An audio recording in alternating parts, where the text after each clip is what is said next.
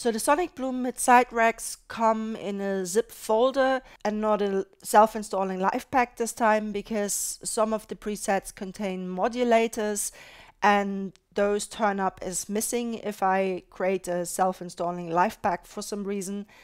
And so you can either use the add folder as I have done here, and you can see all the presets here, or what I would recommend is that you add them to the user library under presets, then audio effects, and then add them to the audio effect racks. And don't forget to tag them as well.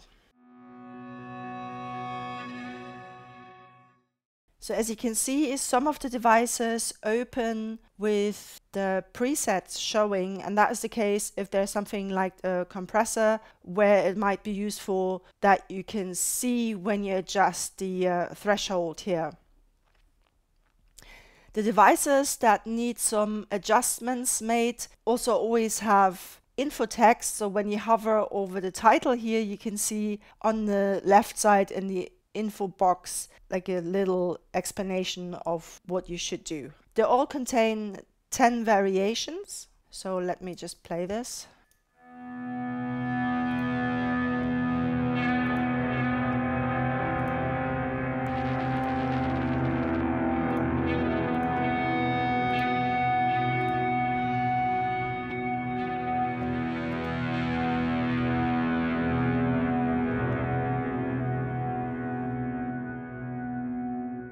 And the parameters like the compressor threshold that you should adjust according to your audio source are always excluded from the variations and also from randomization.